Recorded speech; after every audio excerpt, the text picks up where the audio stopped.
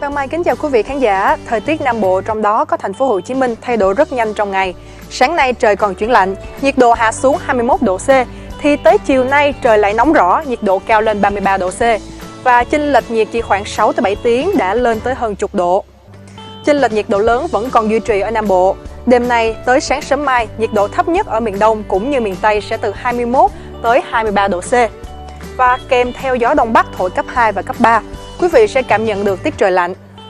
Lạnh tới khoảng 8 giờ sáng, sau đó nắng sẽ liên tục đẩy nhiệt độ tăng nhanh. Cao nhất trưa chiều mai tại thành phố Hồ Chí Minh, Biên Hòa, Tây Ninh xuống Tân An, Châu Đốc, Cần Thơ, Cà Mau sẽ từ 32 tới 34 độ. Và chuyển sang thời tiết trên biển. Vùng biển Cà Mau, Kiên Giang ít mưa và sẽ có gió cấp 5, tầm nhìn xa trên 10 km. Vùng biển Bình Thuận, Cà Mau ra tới ngoài khơi huyện đảo Hoàng Sa và phía tây huyện đảo Trường Sa vẫn có gió mạnh cấp 6-7 và giật cấp 8-9, biển động mạnh. Bản tin tới đây là kết thúc. Cảm ơn quý vị đã quan tâm theo dõi. Xin kính chào và hẹn gặp lại.